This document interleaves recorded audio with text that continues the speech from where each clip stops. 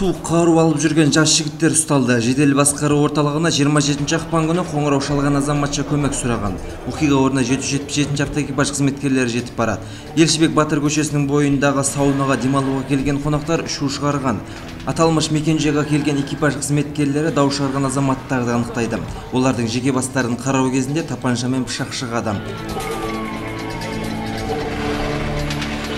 сағат 23.40 шамасында жедел басқару орталығынан елшібек батыр көшесі вавилон клубына шақырту түсті.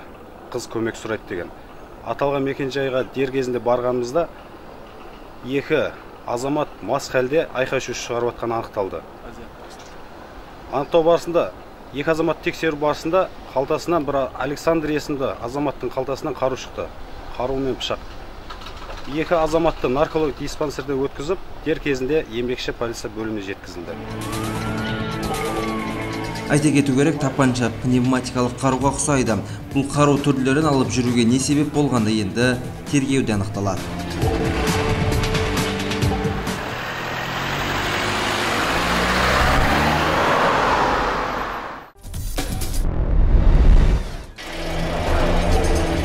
жеке менчик фирманын өкүлү түнкү саат бирлерден асканда калаада фирмага тийиштүү автокөлүктү тааныс эмес азаматча айдап жүргөнүн байкайды содан дереw көлүктү сеніп тапсырылган жүргүзүүчүгө кабарлашкан сөйтсе онун уялы телефону сөндүрүлүү болгон водительдің телефоны машина бар бұл таксопарк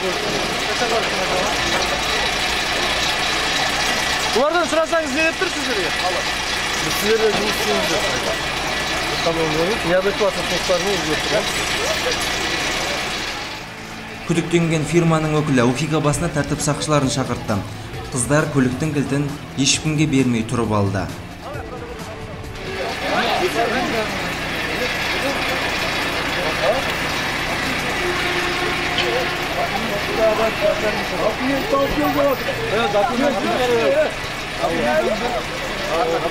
Документ.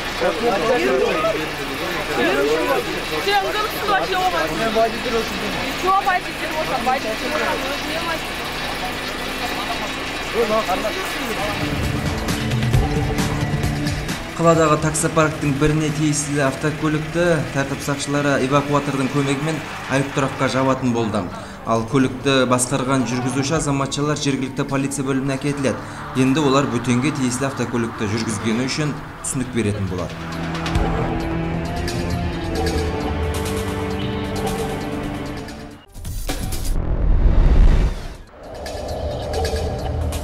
кеше күндіз аманжолов пен қазиев көшесі қиылысында ауди мен шағын автобус соқтығысып қалады. Оқиға басына келген инспекторлар жеңіл автокөліктің жүргізушісінің спирттік ішімдік ішкеніне күдіктенеді. Сөйтіп оны облыстық наркологиялық диспансерге алып келеді.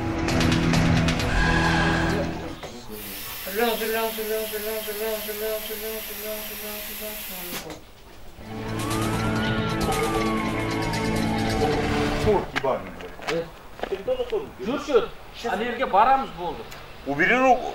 Тұр тұр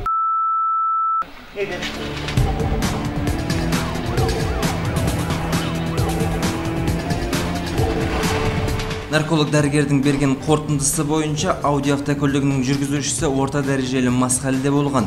Жол көлік апатынан шағын автобуста болған төрт жолаушы жарақат алған. Оқиға басына келген дәрігерлер жарақат алған азаматтарға медициналық көмек көрсетті. Олардың жеңіл дәрежелі жарақат алғанын мәлімдеді.